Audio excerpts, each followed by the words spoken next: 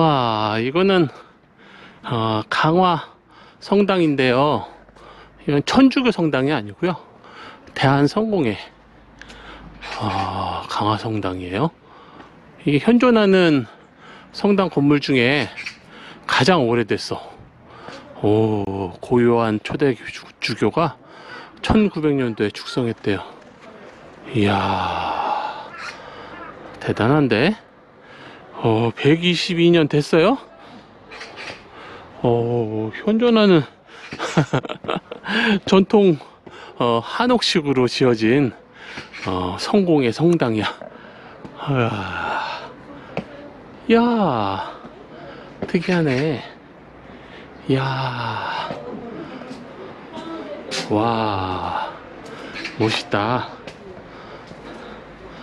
아, 어, 이제 내부도 들어가서 볼 수 있게 다 개장을 해놨죠?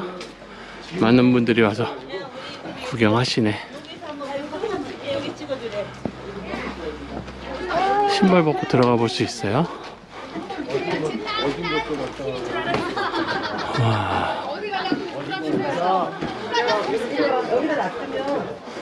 와, 멋있는데요? 성당 축성 122주년. 와, 와, 엄청나죠? 이야, 그 당시 이렇게 해가지고, 지금도 여기서, 어, 어, 예배를 올리고, 그래요? 우와, 안에 들어와 보긴 처음이네. 전에 왔을 때는 문을 열어놓질 않아가지고, 밖에서만 이렇게 살짝 구경하고 그랬는데, 안에 들어와서 보니까, 이야, 진짜 멋지네.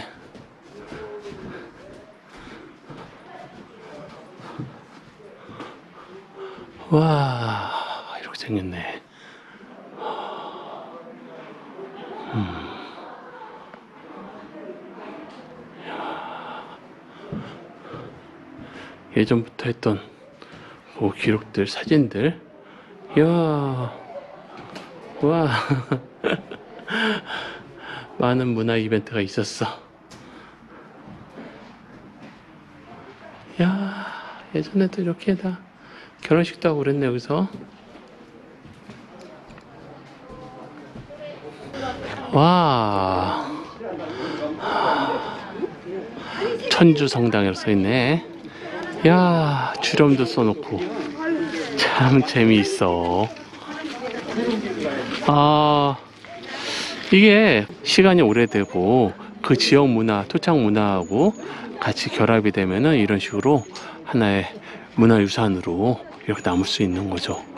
이야, 훌륭하네. 어, 전망도 좋아. 와, 저 위에가 고려공주고요. 요 아래는 바로 용흥궁이에요. 어, 철종, 철종, 영흥궁. 음. 어, 좋습니다. 여기 반드시 와보셔야 돼요. 영상이 도움이 되셨다면 반드시 좋아요, 구독